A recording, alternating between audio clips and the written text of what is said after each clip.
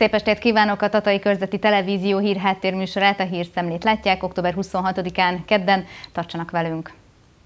A vidéki települések fejlesztésének és a környezettudatos szemléletformálás fontosságának részeként a településfásítási program keretében 10 ezer főnél kisebb helységek ingyenesen igényelhettek facsemetéket. A kezdeményezés célja, hogy megóvjuk és javítsuk környezetünk minőségét, mondta dr. Völner Pál, parlamenti képviselő, az igazságügyi minisztérium államtitkára állami támogatás, pályázati lehetőség, másik oldalról az erdészetek előnevelik ezeket a fákat, amelyeket fel lehet használni. Láthatjuk, hogy most is a Értes Erdőnek a munkatársai azok segítenek és hát az Agrárminisztérium koordinálja ezeket az ügyeket. Amit én kiemelnék, hogy már több helyen vehettem részt ilyen akciókban, hogy volt, ahol a civil egyesületek egy-egy fát bevállaltak, és azok ültették el, például Tokodon több mint 20 fa így került helyhelyezésre, dömösön a családok fogadták őket örökbe, és hát sok helyen a gyerekek, óvodások, iskolások vesznek részt aktívan ezekbe az akciókba, tehát mindenkit megmozgatnak.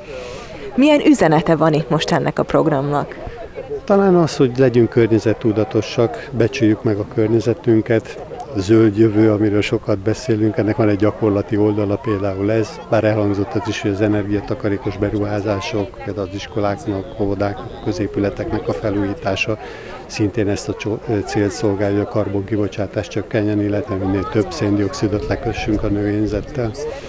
Lesznek a jövőben esetleg hasonló jellegű kezdeményezések, vagy folyik-e most jelenleg is? Ez folyamatosan zajlik. Most ugye hallhattuk az első körben, akkor nagyon hamar kimerült a keret, most egy bővebb keret van, és hát ha arra gondolok, hogy minden születendő gyerek után tíz fát ültetünk az országba, akkor ez egy folyamatos akció. Zambó Péter, az Agrárminisztérium erdőkért és földügyekért felelős államtitkára elmondta, hogy az elmúlt 30 év legnagyobb fásítási programja zajlik jelenleg, és közel 1500 vidéki település jutott facsemetékhez. Felhívta a figyelmet arra is, hogy a támogatások nem csak a magángazdálkodók, hanem az önkormányzatok számára is elérhetők, ezért érdemes pályázni. Az Agrárminisztérium ö, hirdette meg 2020-ban a településfásítási programot.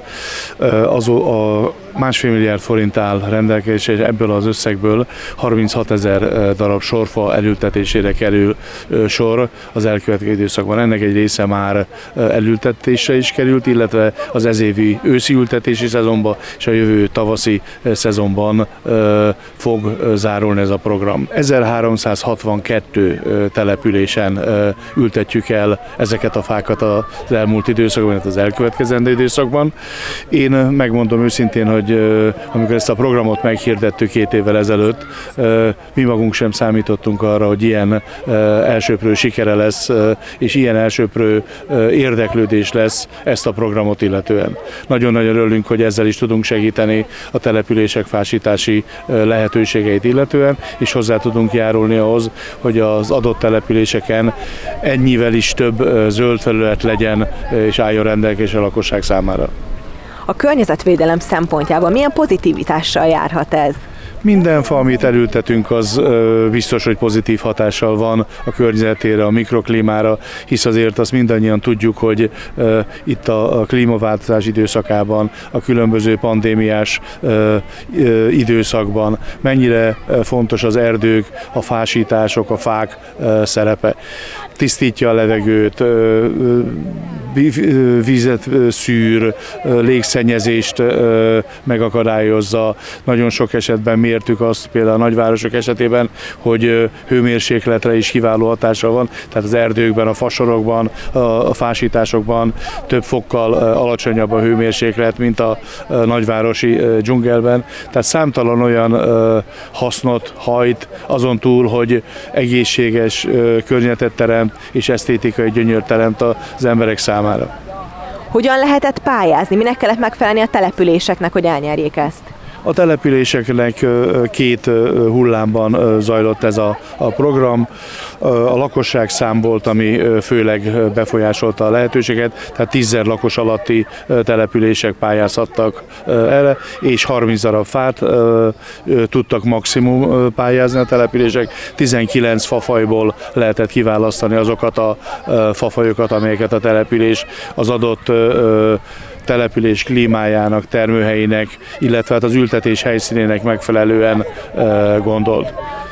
Melyek ezek a fafajták, miből válogathattak? Elsősorban a, a kertészekkel e, egyeztetetten válogatok ki ezeket a fafajokat, a hárs és azok a nagyvárosban ültethető e, különböző fafajok, amik bírják azokat a, azokat a e, klimatikus és légköri viszonyokat, amely mondjuk egy nagyvárosban meg kell küzdeni ezeknek az ültetett fáknak azoknak, akiknek esetleg nem sikerült most elnyerni ezt a pályázatot, hogy bekerülni, lesz-e még lehetőségük, lesz-e hasonló pályázat a jövőben? Én nagyon-nagyon bízom benne, hogy jövő ősszel ismételten meg tudjuk hirdetni ezt a pályázatot. Egyelőre mi most arra koncentrálunk, hogy ezt az 1362 településből, ami még az őszi tavasz ültetési szezonban hátra van, őket ki tudjuk szolgálni megfelelő minőségi ültetési anyaggal. Ez az egyik erdőgazdasági részvénytársaság Csemetekertjében rendelkezésre áll. Ők az, akik kiszállítják ezeket a faanyagokat, ezeket a sorfákat, és rendelkezésre bocsátják a településeknek. Steinzl Balázs, a Komárom-Esztergom megyei közgyűlés alelnöke a klíma és a környezetvédelem, valamint az energiakorszerűsítés és a széndiokszid kibocsátás csökkentésének nélkülözhetetlenségéről beszélt. Először is nagyon örülök, hogy a mai napon újabb fákat ültettünk el. Ez a település fásítási program tudomásom szerint a megyénket érintően azt jelenti, hogy 11 településen közel 450 fát ültettek el ez idáig a maival együtt. Ez nekünk nagy öröm, hiszen nálunk a Komárom-Esztergom megyei önkormányzatnál is kiemelten foglalkozunk a klímavédelemmel. Ugye ez is ezt a cél, egyik célja ez a fásításnak, hogy a klímahatásokat csökkentsük, a széndiokszid kibocsátást csökkentsük, valamint ugye ezek a fák oxigént is termelnek. Tehát mi is nagy hangsúlyt fektetünk a klímavédelemre, de nem csak nem csak stratégiákat, tehát azokat is alkotunk, meg programokat is alkotunk, de számos telepésfejlesztési operatív programos pályázatból rengeteg épület újult meg most megye szerte, energiakorszerűsítésen esett át számos óvoda, iskola, közintézmény. És ugye ezeknek mind az a céljuk, hogy csökkentsük a CO kibocsátás, mind mellett, hogy gazdaságosabban lehessen üzemeltetni az intézményeket. De ez persze ez nagyon fontos, de nem elég. Én szerintem sokkal fontosabb a szemléletformálás, és ez a szemléletformálásnak az egyik eszköze a fai építés, hiszen nem csak, hogy környezettudatosságra neveli a gyerekeket és, a, és az itt élőket, meg is becsülik, amit elültetnek, és, és egyfajta környezettudatosság ö, alakul ki ezekben a, a gyerekekben és az itt élőkben. Úgyis egy, font, és egy másik fontos cél az, hogy a kormányzati cél, hogy ö, 2030-ra az erdőterületek 24%-ról 27%-ra nőjenek a Magyarország területét tekintve. Ez is egy fontos célkütőzés, és ez is egy része ennek, ez a program is egy része ennek az egész akciónak. Tehát akkor mondhatjuk azt, hogy a megye vezetősége az átlájára tűzte ki ezt a környezettudatosság védelmét és a környezetvédelmét? Igen, igen, már korábban mi voltunk az elsők a megyé, megyék között, amikor 2014-ben létrehoztuk a környezetvédelmi programunkat, és ugye utána számos más pályázatban is sikerült részt vennünk, klímastratégiát alkottunk, és próbáltunk rajzpályázatokat is a gyerekek között létrehozni, ezáltal is ugye ezt a szemléletmódot népszerűsíteni és tudatosítani. Igen, ez egy nagyon fontos dolog, hiszen a klímaváltozás, azt, hiszem ezt már nem kell magyarázni senkinek, hogy milyen nagy hatással van sajnos az emberiségre. Baljós előrejelzések, amelyeket 2050 és 2100-ra vetítenek, ezeket jó lenne elkerülni, és én bízom benne, és a saját gyerekeimet is így próbálom nevelni, akár a csak ilyen kis dolgokban, hogy a, ahogy a szelektív hulladékgyűjtés, vagy a természet szeretete, az erdő szeretete, tehát próbáljuk ezt. És hál' Istennek én úgy látom, hogy azért az iskolákban is ez a környezeti nevelés nagy hangsúlyt kap most már a napjainkban. Mely települések nyerték itt most ezt a pályázatot hát, megyében? Tudomásom szerint ö, ö, Dömösön volt legutóbb ilyen, ugye most Tarjánban, de ö, én tudom, hogy a Bakony alja környékén is volt egy-két település, hát pontosabban, ezt pontosan meg tudjuk nézni a, az, azokon az oldalakon, amelyeken ö, ugye ez, az, ez a program is ö, fent van. Klinger Tamás, Tarján község polgármestere elmondta, hogy a telepített fákkal hozzájárulnak a vidéki települések zöldítéséhez és a környezeti állapotuk javításához. Az esemény végén a fákat Szabó Zoltán, katolikus plébános és Pap László református lelkész áldotta meg. Ez az országfásítási programnak a részeként valósul meg. Lehetőség nyílt az idei év tavaszán pályázni fákra az országfásítás kereteiben, amire beadtuk a pályázatot, és ebben az évben 30 darab fát nyert településünk. Pontosan milyen előnyökkel is jár ez most így a település életében?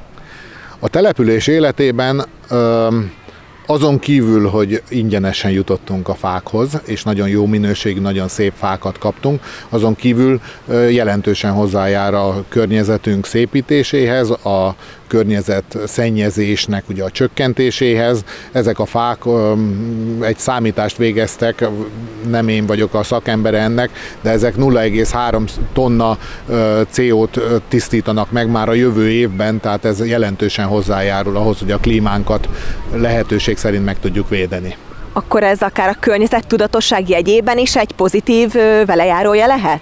Mindenképpen hát a fák telepítése egy nagyon-nagyon fontos része a környezetvédelemnek. Sajnos minden évben pusztulnak ki a településen fák, és most azon vagyunk, hogy nem csak annyit, amennyi kipusztul, illetve ki kell vágni, hanem annál jelentősen többet is tudjunk telepíteni évente.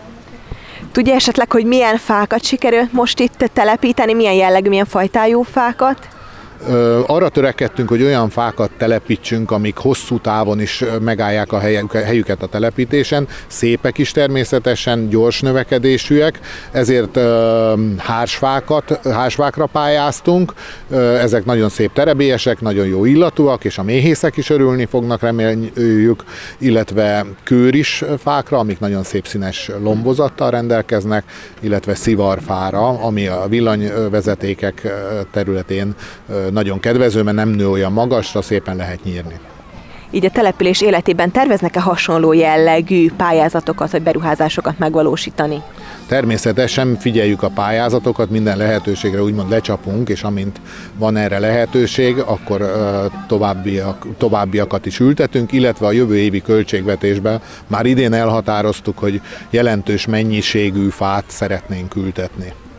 Ez egy remek lehetőség is volt ez, a, ez az első alkalom, hogy ilyen központi beszerzésen keresztül, vagy pályázaton keresztül, mert ez kíséri a Vértes ZRT, akik szakmai tanácsadással segítettek bennünket, és már most megbeszéltük, hogy melyik helyeken és milyen fajta fákat fogunk ültetni jövőre. És kiknek az együttműködésével és támogatásával valósul most itt meg ez a projekt? Ez a projekt az Agrárminisztériumnak a kezdeményezése, illetve a fákat ők biztosítják, illetve a Vértes Erdő ZRT a szakmai támogatásával, illetve hát a településen belüli összefogással. Már a háttérben gyülekeznek az óvodások és az iskolások, és az első három fát azt az óvodásoknak, iskolásoknak és a településnek szenteljük. Milyen program várja most itt ugye az érdeklődőket, illetve mi, látja, mi, mi várja a látogatókat? Egy kis műsorral készültek az óvodások, illetve az általános iskolások, és természetesen beszédekkel, és egy szimbolikus háromfa elültetésével a 30-ból.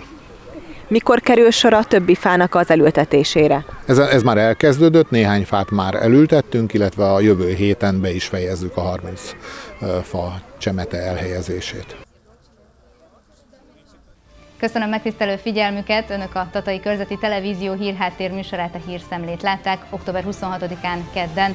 További szép estét kívánok, viszontlátásra!